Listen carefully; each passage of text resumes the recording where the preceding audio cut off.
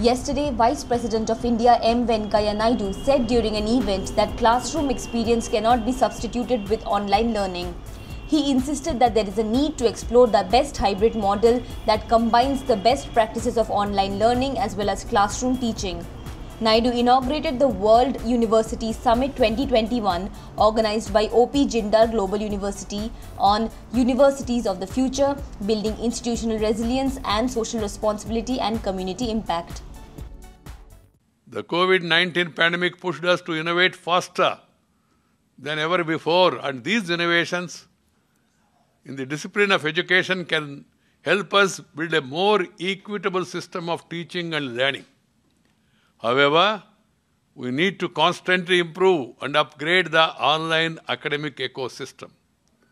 The increased use of artificial intelligence in education technology could bring it closer to real life learning experience. You must focus on that.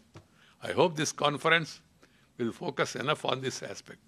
We should also utilize this opportunity to provide learner centered education to every child.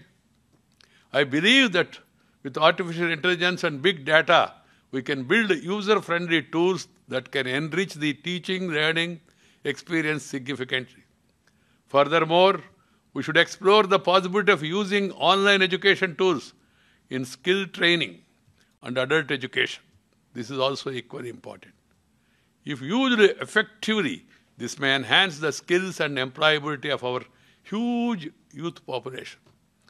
To make online educational tools effective, there is a need to train all stakeholders and ensure availability of technology and related resources by bridging the digital divide. Subscribe to One India channel and never miss an update.